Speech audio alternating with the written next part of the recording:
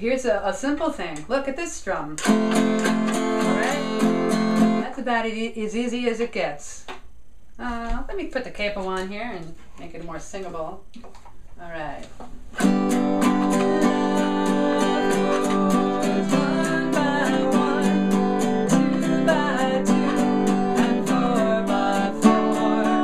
How do you make that sound nicer? You could do low, high.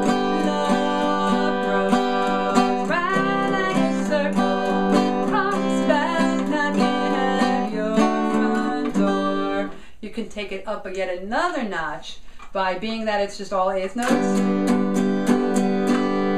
Do bottom, middle, top, middle, bottom, middle, top, middle. It's kind of like strumming and plucking. It's plumbing. Here we go.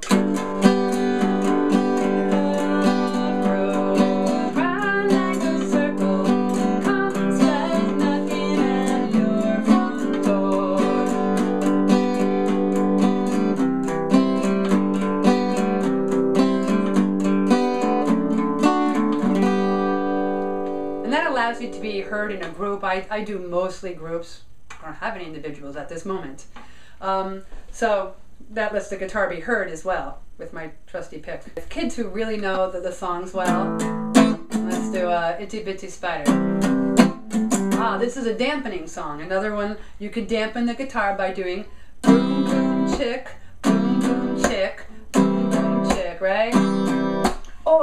dampen it up here with your fingers. Watch how this goes. Because I do this a lot. I actually, I hit the chord and then I pick my fingers up immediately so I get a nice percussive sound. Here's on, off, on, off, on, oh, hold it, on, off, on, off, on. You know, can you hear the difference? It's tricky to keep it going.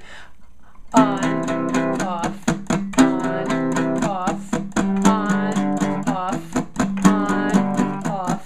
You're dampening the strings. What I'm doing down here is just chicken. My little chicks and my picks. All right. So you add that with a children's song, and you can you can dress this up for any age. Uh, with a kid's song, it would come out like this: The itsy bitsy spider went up the water spout. Down came the rain and washed the spider out. Oh, up came the sun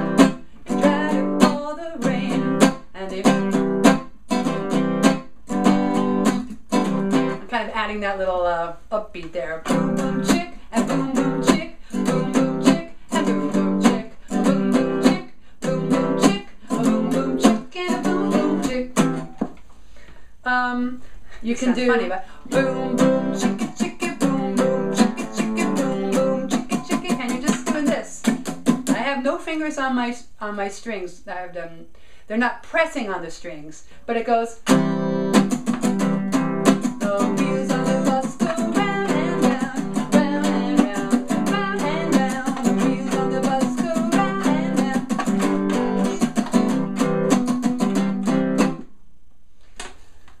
Um, that I use a lot. I play it slower, mind you. But if you had a bunch of kids who needed to be like aroused up and, and you know, woken up to sing, you could use that beat. Um, let's see. Uh, here, here it is with a, an older song. Let's see. And a minor key, right? There was a house